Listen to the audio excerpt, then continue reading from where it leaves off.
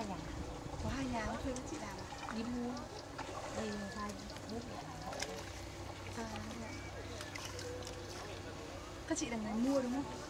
Mua xong các chị mang đi bán là đâu mang đến chợ. Đi trồng đi trồng À, đi mang trồng. về trồng chứ bán thì không thấy tức là chị nông dân chị đến đây chị mua mang về nhà chị trồng trực tiếp à?